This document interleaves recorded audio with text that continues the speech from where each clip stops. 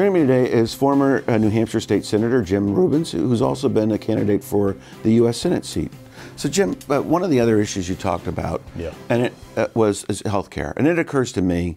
We were talking about debt, but it occurs to me our expenses on healthcare, Right. right, are part of that operating expenses Yeah. that cause some of the debt. Right. So, which, again, we go back to the complexity of this. Yeah. For us to focus on one thing, Yeah. we've got to think about another Right. thing. Yeah. Um, We're not going to be able to fix our budgetary problems at the national level without dealing with the fact we spend, as I mentioned, uh, twice as much in healthcare per person as the other advanced industrial nations. So- twice as much, and we're not getting better results. We're getting they- worse results. This Why is do- intolerable. Why do we spend twice as much? Are we? Are they better shoppers than us? Well, they have they have socialized healthcare systems. Now, Mark, we, we have the fourth most socialized healthcare system in the world already in the U.S. This is as measured by amount of spending, government spending per person. So we spend fourth highest in the world government spending per person in healthcare. We're already heavily socialized.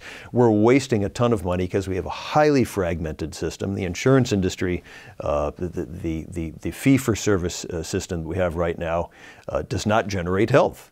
It generates what we have right now, and we've pushed harder toward it, is a billing machine. If you've experienced uh, the healthcare system, as, as my wife has recently, and you see this, you see this in full glory, it's a billing machine where doctors, primary care doctors, have their head down in a computer billing and can't even talk to the patient anymore. This is a failing system. And as I said, we have we, we, we don't have good health outcomes. We're the most obese nation in the in the in, in the large world. Is that a health outcome or is that it is a, con- social outcome? It's a contributor. It's a contributor toward our health problem. We don't exercise enough. We eat too much junk food.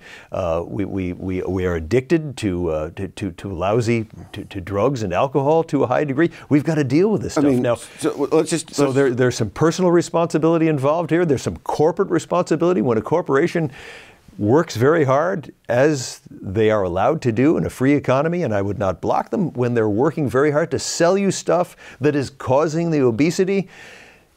The, the management and the boards of these companies have got to peer inside themselves and say, look, is our business degrading the prosperity and well being of the United States of America? Is that our corporate purpose? These are thorny issues in a free society, and we've got to deal with them. Well, and so, I mean, let's just take. I mean, there's Yeah. two issues I want to look at. Sort Yeah. of, uh, but let's take the latter one. That that sort of the issue of freedom and choice. Yeah. Um, it seems to me in a society when we don't want people to do something, there's we we disincentivize it through taxation. Yeah. Or we make it against the law. Right. Um, so, would you make it against the law to buy a donut? Well, look at the way we've dealt with cigarettes. Yeah. We have uh, we have smoking has smoking has dropped about And, half. and we've used tax. we've used taxes and, and some le- and some and a lot of voluntary communication, Well, and uh, and paid for laws. communication and laws. Yeah, we it's uh, you can't smoke if you're underage, et cetera. you can't smoke in a bar, public places. Right. We've restricted. Yeah. Right. So there's a, there's a menu of things we could do to deal with junk food and obesity. There's a menu of stuff we can do education programs. Uh, we can tax sugar.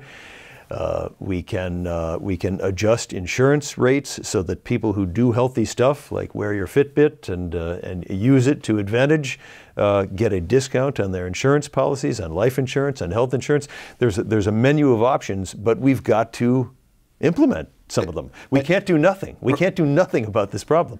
And, and the fee for service healthcare system we've got has got to be changed. I, I propose, and many people want to move in this direction, where we have capitated care. You have uh, you, you spend a certain amount of money per person, uh, and a health network is responsible for keeping you healthy. And the better a job they do at keeping you healthy, the more money they make. So we need to change the structure of incentives uh, in in the healthcare system. And, and do you think that will work? That that sort of. And what happens to the somebody? Can they cut you off? I guess is uh, what an average person might. Well, that's a, a structural problem. How do we, you know, we, we see Congress dealing with this problem right now. What do we do with people who decide, I don't want to pay for insurance right now because I'm young and immortal right now? Well, we need to change the structure of insurance so that people who are young and immortal are not subsidizing people who are old and obese. Okay? So you, you, so you can punish young people by as Obamacare did by uh, forcing a, A- a- a- a tax a on- surcharge yeah. on them, a tax on them. That, that hasn't worked. Uh, I don't believe that we ought to force, and I, I, believe it's unconstitutional to force Americans to buy a specific product. So I'd like to shift back to a free market, and, but, but we need to have incentives for people to do the right thing. So, what do we do about people who can't afford it? We do need uh, subsidized catastrophic health insurance. Uh, we need a primary health care system so that people are, are not, look at Obamacare, people are not using health care right now because the deductibles are so high that it's not health care anymore. It's insurance, but it's not health care. So we need a primary care system where people have access to, you know, checking in as to whether their kid's flu is a serious problem or not. And I got to stop you here. Okay. We've got to check into a commercial break. Okay. When we return, we're going to continue this conversation, so please stay with us.